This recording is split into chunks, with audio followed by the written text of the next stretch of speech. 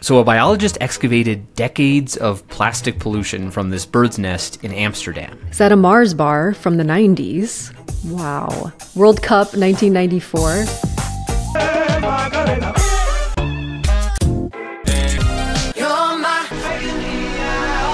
Was this all in one nest? This was all one nest that they found in a canal in Amsterdam. What kind of bird? It's a common coot. They build these nests made of reeds, usually out in the wild. One of my favorite features of the coot is their amazing feet. I, they're kind of weird, but also kind of beautiful. I don't know. I, I really like them. So, yeah, this guy dissected one of their nests. There's actually so many wrappers that you can find the dates on all of them and create a chronology of mm-hmm. how this nest was built using garbage, basically. It's just another piece of, of evidence of how far flung plastic pollution has become. You know, they're finding it at the most remote corners of the earth.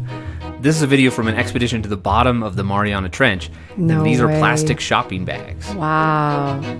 And then basically, once plastic is in the ocean, it's just going to stay there for decades. Yeah, it doesn't really go anywhere. It can break down into smaller little bits. I mean, you've probably seen all of these headlines about Microplastics. microplastics. You know, they find them in breast milk.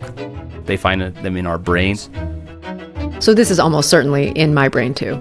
Yeah, yeah, most likely. We're accumulating these things in our bodies and not really knowing what effect that's going to have on our health. Yeah, we're putting so much plastic out into the world that's making its way back into us.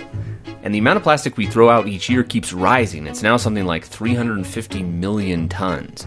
We only mm-hmm. recycle about 9%. That's not good enough. and about the same amount leaks into aquatic ecosystems every year. All of this is the focus of this year's World Environment Day. The theme is Beat Plastic Pollution.